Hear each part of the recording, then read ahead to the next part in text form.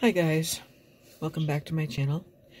This is a poem called Waiting that I wrote this morning. I'm not really there, sitting I mean, yet I am.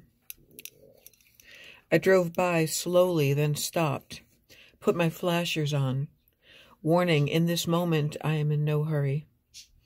All of life seems to be moving fast, worried. My mind sat for several minutes on this bench, my eyes quietly settled on this mood I viewed. I've been pondering of late more than ever so many things.